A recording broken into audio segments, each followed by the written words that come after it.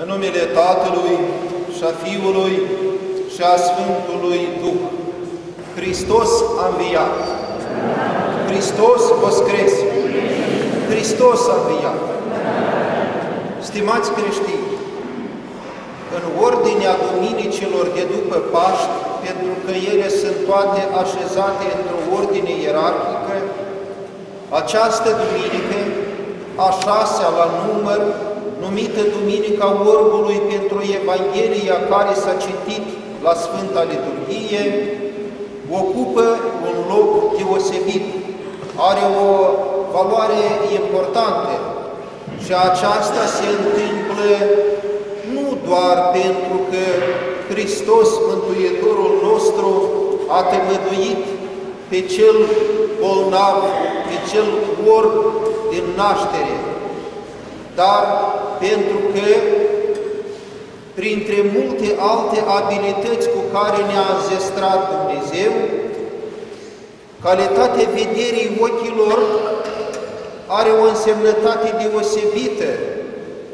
contribuie mult la discernământ, adică la divizarea, la înțelegerea unde este binele și unde este răul, unde este frumosul și unde este urâtul, și unde e virtutea și unde este lipsită ea cu desăvârșire. A vedea oameni buni înseamnă a fi înțelept. A vedea vedere bună sau a avea vedere bună înseamnă a vedea lucrurile adevărate, a le numi cu numele lor, a vorbi despre adevărul dumnezeiesc. Și iată, din momentul când acest adevăr dumnezeiesc se tăgăduiește, omul care se complică la acesta este atribuit de către Sfânta Evanghelie ca omul care are ochi, dar nu vede. Și spre marea noastră nenorocire, în societatea noastră avem prea mulți care au ochi de văzut, dar nu văd. Și pentru că printre cei prezenți astăzi la Sfânta Liturghie nu vreau să văd nici măcar pe unul printre cei care au ochi, dar nu văd, îmi permit astăzi să mă opresc tangențial, adică în scurt, la problema sau la subiectul discutat atât de mult în societate, la legea antidiscriminare sau, cum se numește ultimile zile, legea de egalare a șanselor.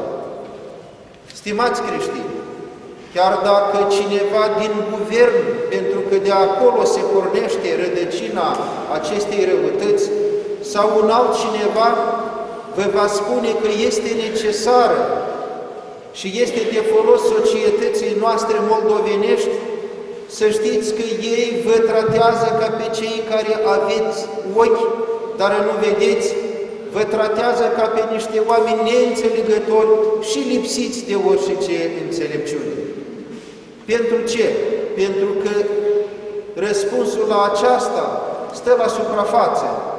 V-ați întrebat vreodată, dragii mei creștini, când și unde a adus vreun folos societății homosexuale, care de Sfânt, Sfântul Apostol Pavel sunt numiți mărșăvenii în fața lui Dumnezeu. Ei aduc nenorocire, ei aduc denaturare a felului nostru de a fi și a bunului simț. De ce totuși am găsit de cuvință să vorbim câta de acum oară despre aceasta în Sfânta Biserică?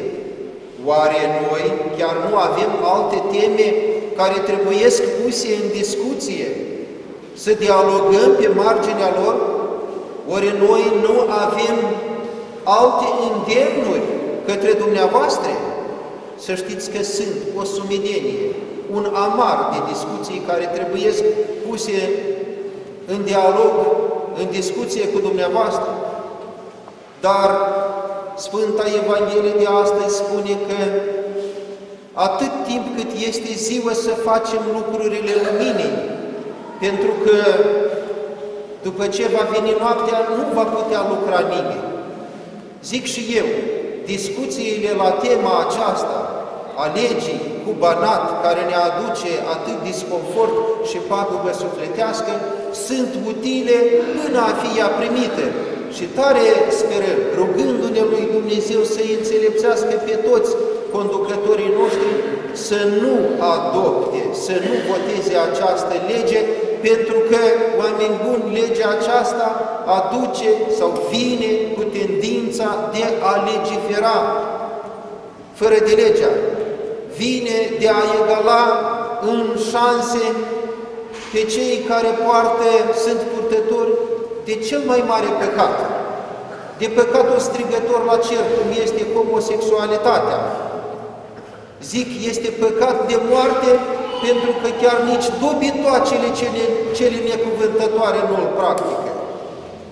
Și oameni, am găsit de asemenea să vorbesc cu dumneavoastră despre aceasta din simplu motiv pentru că cei care pot cădea în mreaja întinsă de guvernatorii noștri când zic că aceasta este bine, pot fi chiar și frații noștri, pot fi copiii noștri, putem fi chiar și unii dintre noi, să ne păzească Dumnezeu, să ne înțelepțească Dumnezeu și să ne ferească Dumnezeu de această mreajă pentru că duce la peire. Dar să vorbim despre cei care încă, deși au ochi, poate nu le văd pe toate clare, deși sunt înțelepțiți de Dumnezeu, poate încă nu au destulă experiență de viață, adică despre generațiile în creștere sau despre copiii noștri, pe care oameni buni vă implor, petrecându-i pentru un timp mai îndelungat undeva, fie la învățătură, fie într-o deplasare sau orice unde n-ar fi în alt loc, povățuiți-i, îndemnați-i, argumentați-le, spuneți-le și rugați-vă pentru ei să-i înțelepțească bunul nostru Dumnezeu ca să-și păstreze principiile de viață așezate pe temeliile creștinești care sunt puse pentru noi, pentru toți, de către însăși Mântuitorul nostru. Oameni buni, și dumneavoastră, rugați-vă, postiți și pocăiți-vă, să nu cădem în această mreajă, după cum am zis, păgubitoare de suflet, pentru că ispita, sminteala este foarte mare și este îngrijorată se îngrijorează, mai bine zis, întreaga societate pentru aceasta, dar înșelăciunea este înviorată, este, eu știu, încurajată de către guvernatorii noștri, pe, pentru care să ne rugăm Bunului Dumnezeu să-i înțelepțească și pe ei, pentru că oameni buni, am zis-o și o mai zic, guvernările vin și slava Domnului se duc, dar urmările hotărârilor lor, mai ales acele păgubitoare de suflet, rămân să stea povara apăsătoare peste popor încă mulți ani. Zilele trecute, într-o discuție, m-am mai exprimat la acest capitol. Cu un preot ziceam, haide să ne consolidăm în rugăciune să ținem piept acestei râi, să nu o scăpăm în societate. Și el m-a reproșat. Nu este râie, pentru că de râie încă cumva, cumva te mai tămăduiești. Dar aceasta este o metastază, este un cancer pe care ferească-ne Dumnezeu să-l scăpăm în societate, atunci el, acest cancer, care se numește legea antidiscriminare sau de egalare a șanselor, rămâne să afecteze mai întâi de toate sufletul ca și întreaga societate. Să mă refer la copiii dumneavoastră, care, deși sunt vârstnici, după cum se exprimă părinții personajului Sfintei Evangheliei de astăzi citite, deși sunt vârstnici, deși pot răspunde pentru faptele lor, totuși oameni buni, haideți să le purtăm de grijă, rugându-ne pentru ei, îndemnându-i și povățuindu-i pentru că avem să purtăm răspundere în fața lui Dumnezeu pentru eșecurile lor. Păcatele lor este obiectul de răspundere a noastră, a maturilor, în fața bunului judecător, pe care, de la care sperăm să primim milă, să primim iertare și viață veșnică. Frații mei creștini, care au lăsat toate celelalte la o parte și s-au